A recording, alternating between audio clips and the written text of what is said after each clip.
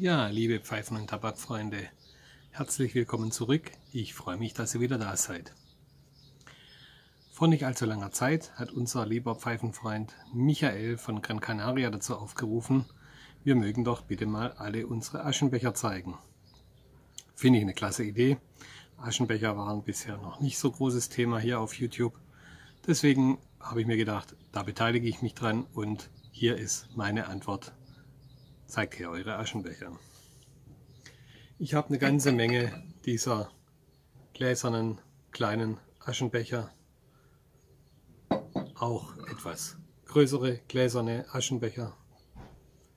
Das Ganze in rund, genauso noch da. Und auch bis hin zu etwas größeren Stücken. Das sind so Alltagsbegleiter, die stehen bei mir auf dem Balkon wenn mal Besuch da ist, dann kommen die raus. Sind nützliche, praktische Gegenstände.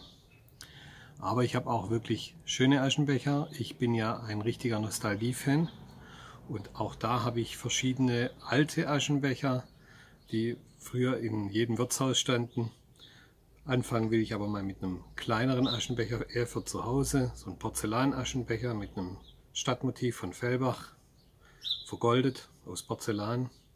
Sehr schönes kleines Stück. Etwas größer und dann früher in Wirtshäusern zu finden, ist dieser schöne Aschenbecher aus Porzellan von Dornkat. Habe ich auch ein bisschen größer, ein bisschen extravagantere Form, so aus den 50er, 60er Jahren schätze ich mal. Dieser wunderschöne Aschenbecher, Bommerlunder steht drauf, so schneckenförmig geformt, organisch geformt. Tolles Teil aus Porzellan. Oder dann schon größere Wirtshausaschenbecher, die vielleicht am Stammtisch standen, wie dieser hier. Da steht auch Steinhäger, Werbung außen drauf, mit Ablagemöglichkeit für drei Zigarren oder Zigaretten. Ja. Und dann natürlich eher noch ein bisschen jünger als die anderen, aber auch ein Klassiker, dieser schöne Jägermeister Aschenbecher. Sehr groß, ja? also da passt wirklich was rein. Das ist wirklich so ein typischer Stammtisch-Aschenbecher aus den Wirtshäusern aus den 70er Jahren.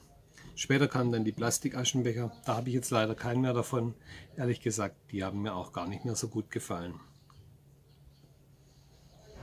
All diese Aschenbecher stehen bei mir da, hauptsächlich zur Zirre tatsächlich nutzen fürs Pfeiferauchen auf meinem Pfeifentisch.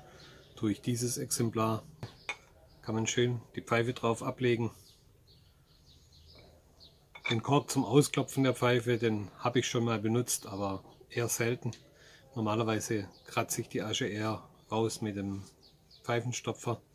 Irgendwann hat mal ein Freund von mir eine Zigarette da drauf ausgedrückt aus dem Kork, deswegen dieser unschöne Fleck. Seitdem stelle ich den nicht mehr hin für Zigarettenraucher. Die kriegen meine alten gläsernen Kollegen hier vorgesetzt. Damit sind die auch zufrieden. Ja, das war's von meiner Seite. Ich hoffe, ihr hattet ein bisschen Spaß.